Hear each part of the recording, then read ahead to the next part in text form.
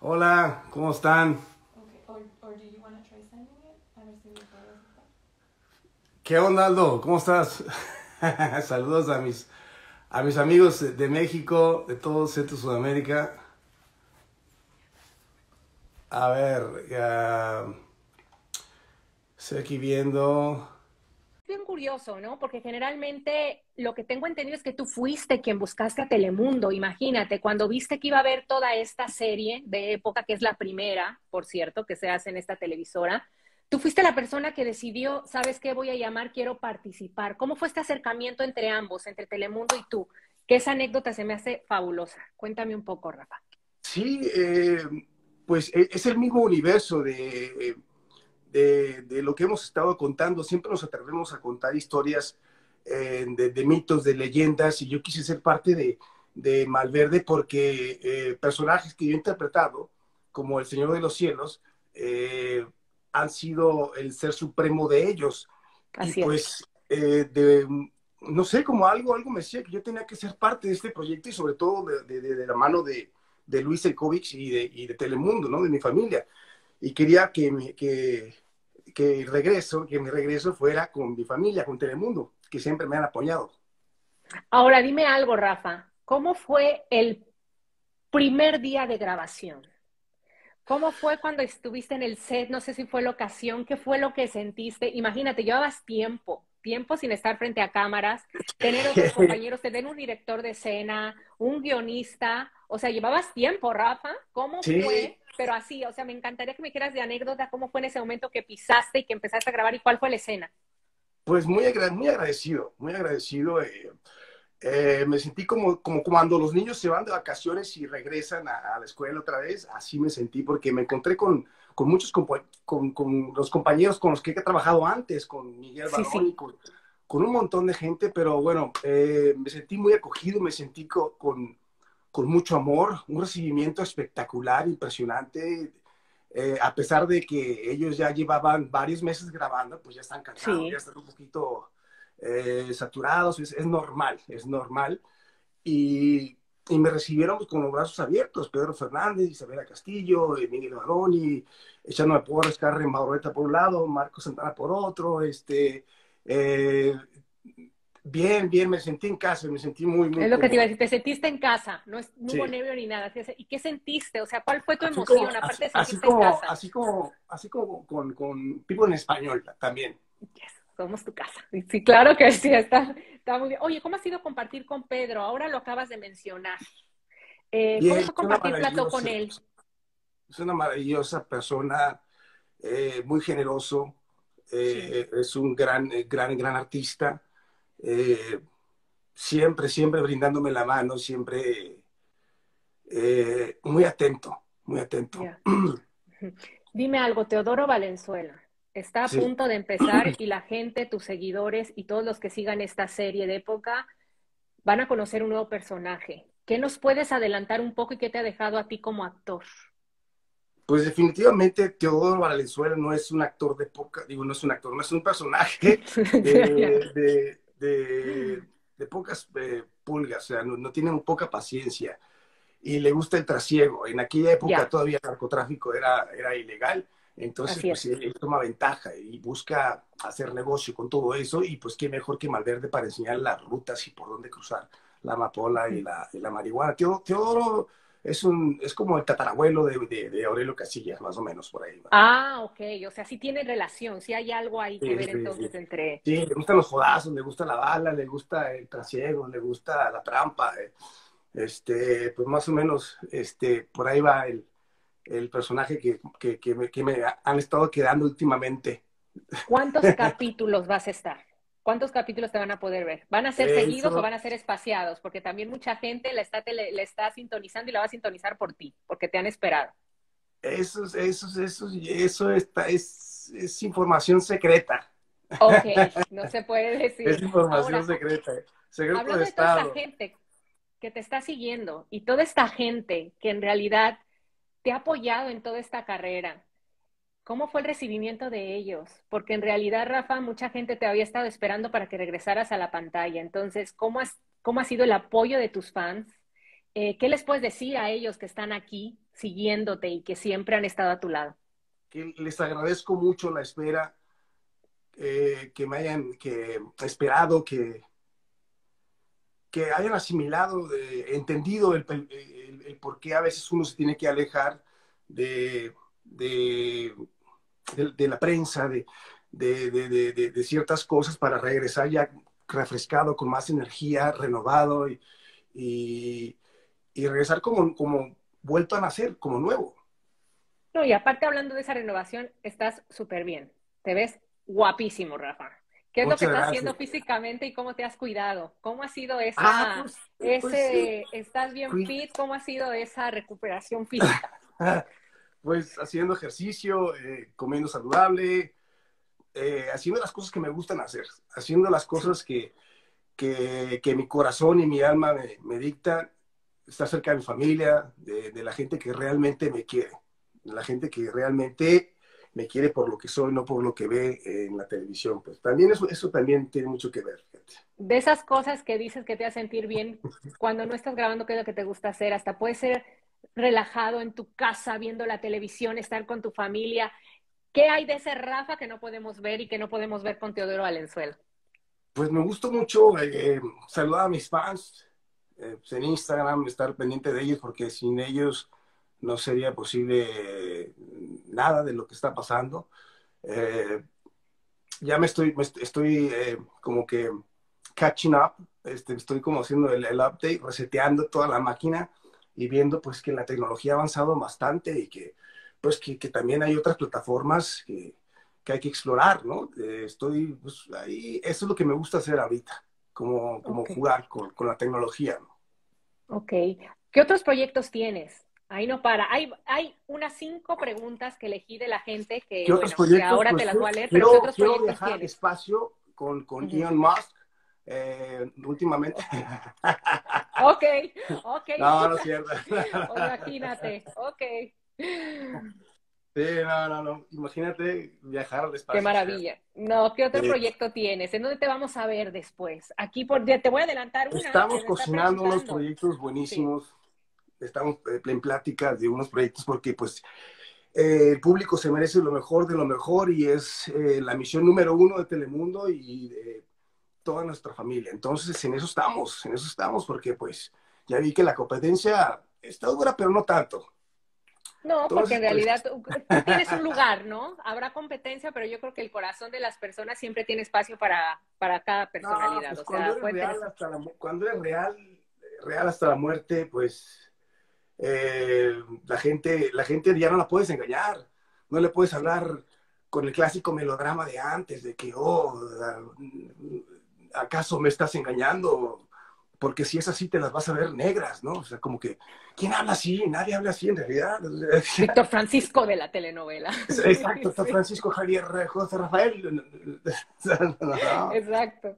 Entonces, Oye, la gente le, traes algo que no es real, que es bus, que es así, que es, perdón, este, que es un poquito como que no es cierto, la gente hoy en día y los jóvenes no son tontos saben que, que, no es cierto. Entonces, pues, eh, en este caso, pues es más ver desde época, así hablaban en esa época, ¿no? Y así exactamente es como, como lo estamos haciendo. Eh, y, y, Telemundo se caracteriza, eh, sobre todo en, en, romper barreras, en, en, en no, no, decirle mentiras al público, no brindarles un melodrama con un lenguaje, pues, no sé, típico, ¿no? Porque pues el melodrama es un género muy, muy generoso, es, una... Eh, nada más que pues ya son muchos años y, y se ha lucrado bastante de, de, él, pues que ya la gente necesita ver otras cosas, pues la gente necesita ver algo real. Y aparte también conocer un personaje como Malverde, ¿no? Que también es un mito, ¿no? Es mejor conocer lo que hay detrás de ese, de ese personaje, ¿no? También creo que eso es interesante. Creo que... Ahora, hablando de todo este cambio que acabas de decir, eh, ¿qué lección podríamos decir has aprendido a lo largo de tu vida y que ahora estés aplicando ahora en esta etapa de tu vida como profesional? ¿Cuál es la lección? ¿Qué eh, cambios has hecho? En mi vida profesional, pues siempre poner primero a mi familia. Ok, perfecto. A, a, mi salud y a lo que quiere mi alma creativa, mi niño interno que lo descuidé demasiado. Sí. Así ¿Y en lo personal? Eso, eso, la familia. Em, pues la familia, eh, mi salud, eh, mi estabilidad en todos los aspectos. Sobre todo, claro. Personales y, y nada, buscar, buscar paz en mi vida, buscar paz y, y lograr mis objetivos y divertirme en el proceso.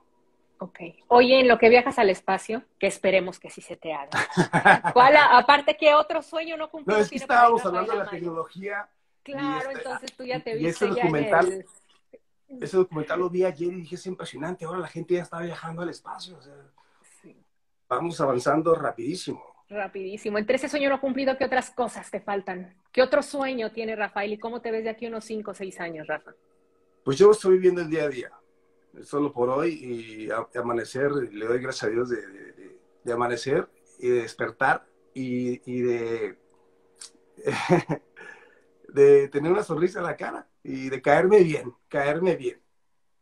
Ser honesto, ser real, ¿no? También todo eso. Muerte hasta, sí, ser real y punto. Y eso es lo que la gente ve, es lo que la gente quiere, pues lo real, lo, fake, pues se nota y pues la gente no es, no es tonta, el público ya no es tonto, los jóvenes no son tontos, tienen mucha información a la mano. No puedes, no puedes darle un producto que, que, que así, así no habla la gente, así no, así no es como pasan las cosas, eso no puedes darle a la gente. Dale la verdad y ellos te van a seguir, te van a ser leales igual que así como tú eres con ellos. Claro. ¿Te vas a sentar ahorita en tu casa a ver el primer capítulo en el que va a salir o ya lo viste, la verdad? Claro, ya lo pues, viste. No, pues es que no, no, es lo mismo, pues, como no. Sí.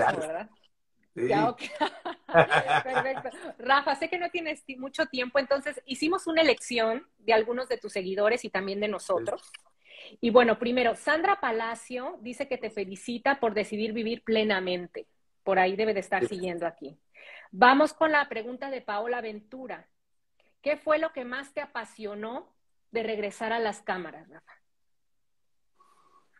Eh, de regresar al mundo de la ficción. Sí. Yo en la ficción me siento protegido porque ahorita, aunque no creas, estoy un poco nervioso porque hablar de mí mismo me hace sentir muy nervioso.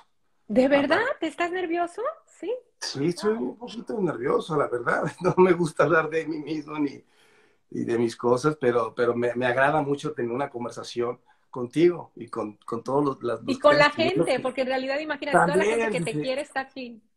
Sí, sí, pues me sentí muy, muy, muy, me siento muy a gusto eh, estar interpretando personajes, porque pues puedo jugar, puedo apapachar a mi niño interno y, y nada, el trabajo es antes y la paga es en el set. Yo me estreso eh, eh, ensayando, eh, trabajando y, me relajo ejecutando, actuando. Esa es la real paga del actor cuando estás en el escenario.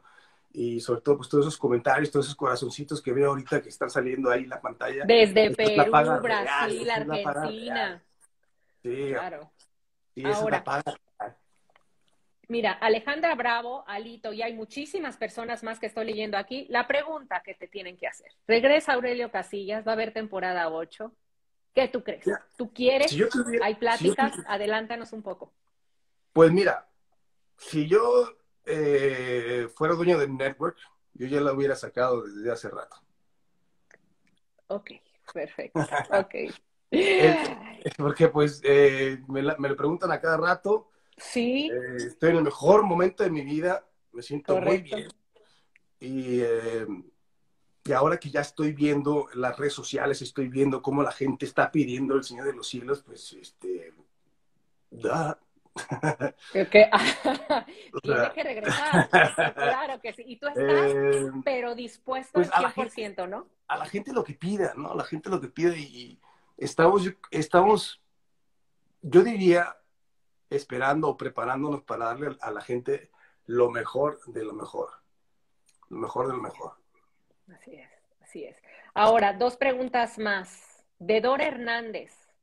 ¿Cuáles son los gustos y disgustos de Rafael Amaya? Mi, gusto, me, gusta que, me gusta que la gente sea real. Me gusta que la gente sea real. Eh, cada vez que, cada vez que que conozco más gente, quiero más a mi gato. ¡Ay, caramba! Bebé. ¿Cómo se llama? ¿Cómo se llama? Ay, ay, ay. Se llama Amaya. Amaya, ok. ¿Es nena o es nene? Es nena. Es nena, ok. Hola. Amaya. Hola, Ella es Amaya. Ella, ella es real, véala. Está enojada. ¿Qué edad tiene? La adoro. La adoro, la adoro. La acaban de operar. ¡Ah! Ay, cuidado. Mira, me están mordiendo. Ya, ella no, no, ves que es real, es real. Ella no se pregunta ella porque no. soy gato, simplemente es, es gato, ¿no? Eh, me- eso, eso es lo que me gusta, me gusta la gente que sea real, me gusta lo verdadero, lo genuino, me gusta que, que, la, gente, que, la, que la gente, que las cosas, que la vida no sea predecible, me gusta improvisar, que, que me gusta el, el efecto sorpresa, eh, me gusta, me gusta nada, saludar a viejos amigos y recordar cosas bonitas. Y los disgustos. Y crear momentos. Y crear momentos. ¿Y los disgustos? ¿Cuáles son los gustos de Rafael Segundo Hernández que quieres Los saber? disgustos, eh, los disgustos pues, ay, dura poquito, ¿eh? Ahorita ya duran poquito porque los cambio inmediatamente por cosas buenas, porque hay muchas bendiciones, hay, hay, hay cosas que, que hay que agradecerle a Dios que tenemos y, y hay muy poquito tiempo como para estarse lamentando y como para estarse disgustando por, por, por pendejadas, por, por, por, perdón, por este, por, por, pequeñeces, pues la vida es muy bonita. Por pequeñeces, por tonterías. Por tonterías, perdón, perdón, una disculpa. No, está bien, está bien, no, hay problema. Y bueno, Rafa, Ismarí Robles, Alejandra, Quilladora y muchísimas otras chicas, bueno, estás enamorado. ¿Cómo está el corazón de Rafa? Lo siento, tenía que hacer la pregunta. Ah, bien, está muy bien, está tranquilo. Ahorita tengo que llevarme tranquilo las cosas, estar Ok. checándome a cada rato. Pues porque antes me iba muy recio, antes andaba, andaba muy recio. Aquí y allá, con una, con otra, entonces tengo que analizar ¡Ay, bien. Sí, sí, muy mujeriego, muy mujeriego, y eso pues da mucha inestabilidad también.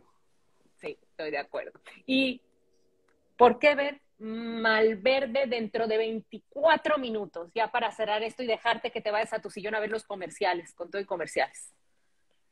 ¿Por qué ve- ver Malverde? Pues porque voy a salir yo primero. Ah, no es cierto. No, sí, sí, este, porque, eh, pues para que no te la cuenten al día siguiente, ¿no? Para que no te la cuente, porque va a estar, va a estar fenomenal. Eh, nos divertimos mucho, Miguel Baroni y eh, Pedro, este, Alejandro Nones y, y Isabel Castillo, Isabela Castillo. Em, todos nos divertimos mucho y pues para nosotros es un honor brindarles este, este, este, este producto. Y me encantaría que lo vieran y que, y que opinaran, que opinaran qué es, qué es lo que les gustó, qué no les gustó. Este, ahí voy a estar en las redes sociales también, atendiéndolos a todos ustedes y pues, eh, pues véanla, Pues vamos a ver qué tal con Teodoro y con Malverde. Muchísimas gracias, Rafa. Te agradezco muchísimo por el tiempo y qué bueno que los logramos conectar y gracias por la paciencia. Muchísimas Sí, gracias. Siempre es un placer charlar sí. contigo. No me puedo ni conectar a Instagram, ¿cómo voy a irme al espacio? Está bien, no, pero no, no, no. Yo ya te veré y me tienes que dar la exclusiva a mí. Tienes que dar la exclusiva a mí. Ay, te mando un abrazo. Muchas gracias, Rafa. Un placer saludos a todo el equipo y besos a Armando Correa. Claro que sí. Gracias a ti, Rafa.